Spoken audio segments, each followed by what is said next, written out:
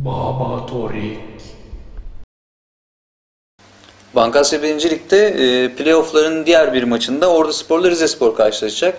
Yani bir Karadeniz, iki, iki tane Karadeniz ekibini karşı karşıya getirecek bu maç. Yarı final e, diye, diye tanımladığım benim e, bu ikili maçtan ilkinde Ordu'da oynanacak maç. E, ligdeki ilk maçı Ordu'da oynanan maç berabere bitmişti. Bir birlik beraberlikle bitmişti. Deplasmanda Ordu Spor ise Rize 3-0 kaybetmişti. Rize 3-0'lık bir galibiyet almıştı kendisi aslında. Zaten Rize Spor'un özellikle Bankasya'daki hani şöyle söyleyeyim.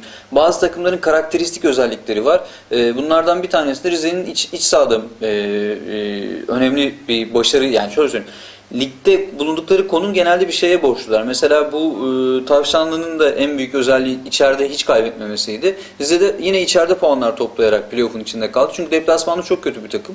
Son hafta onlar açısından olmazsa olmaz maçında Samsun Spor ki kaldı ki o gün yani tahminlerimiz de gerçekleşti.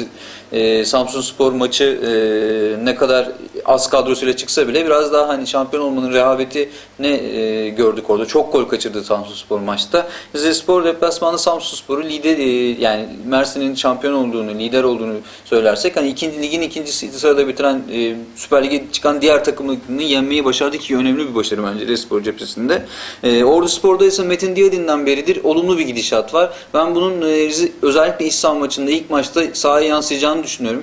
Rize Spor'un deplasmanda ki bence Rize Spor iyi bir kadroya sahip. Ordu'dan daha iyi bir kadroya sahip. Bu eşleşmenin de favorisi ama e, ya şöyle söyleyeyim. Hani avantajlı bir skorla Rize Spor eve dönebilir. Hani 2-1'lik falan bir skorla ama benim maçla ilgili favorim Ordu Spor. O yüzden galibiyete yakın tarafın Ordu Spor olduğunu düşünüyorum. Maçın, maçın da az e, gol bitme ihtimali var ama e, dediğim gibi Rize Spor e, deplasmandan hani e, bir gol bulabilirse maçta üste taşınır. O yüzden alt üst tercihinden uzak durulmalı bence. Ordu Spor galibiyeti bu e, iddia oynayacak insanlara benim bu ilk maç için tavsiyem.